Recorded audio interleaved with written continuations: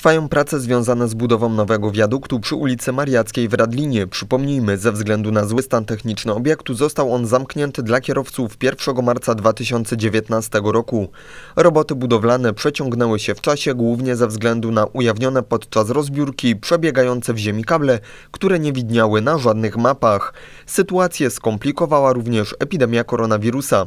Jednak w ostatnim czasie prace na wiadukcie idą pełną parą.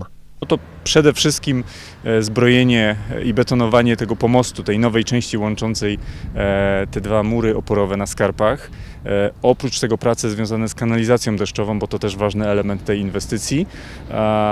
No i odtwarzanie chodników od strony mm, ulicy Rybnickiej. Aby zakończyć działania związane z odbudową wiaduktu, trzeba jeszcze wykonać kilka ważnych prac. Przed nami e, jeszcze mm, odtwarzanie dojazdu do e, wiaduktu, montaż balustrad, oświetlenie. Tutaj też taka e, ciekawostka. Oświetlenie będzie spójne z tymi lampami LEDowymi, które mamy już w tym rejonie, także całość będzie sprawiało dobry efekt. Już od dawna najbardziej wyczekiwaną informacją wśród kierowców, a także pieszych jest termin oddania obiektu do użytku. Natomiast to pytanie na ten moment nadal pozostaje bez odpowiedzi, dlatego że po zakończeniu prac e, czekać nas będą jeszcze czynności odbiorowe e, oraz wydanie wszystkich e, formalnych zgód. Także na ten moment nie jesteśmy w stanie określić ze stuprocentową pewnością, kiedy obiekt będzie oddany do użytku.